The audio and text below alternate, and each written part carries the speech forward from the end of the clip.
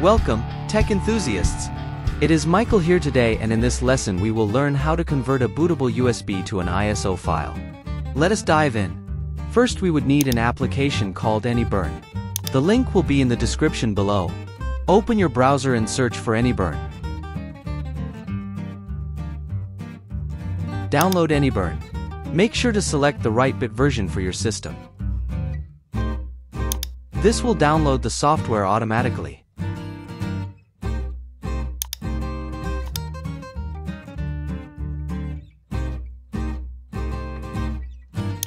Now install the software.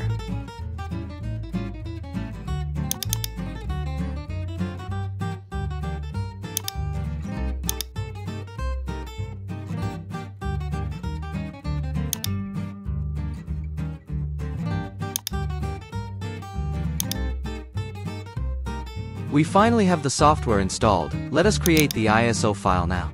Open the software. In the listed options, select Create Image File from Files or Folders. Click Add and navigate to the location of your files.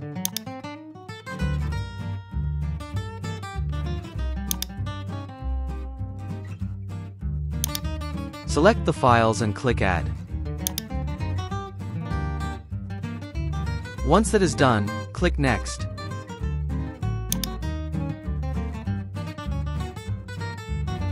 Now give it a file name and location you want your ISO file to be saved to.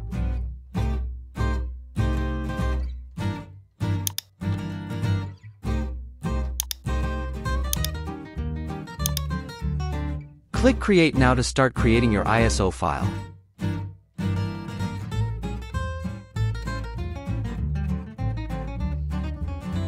That is how you create an ISO file. If you like this video, kindly like and subscribe for more.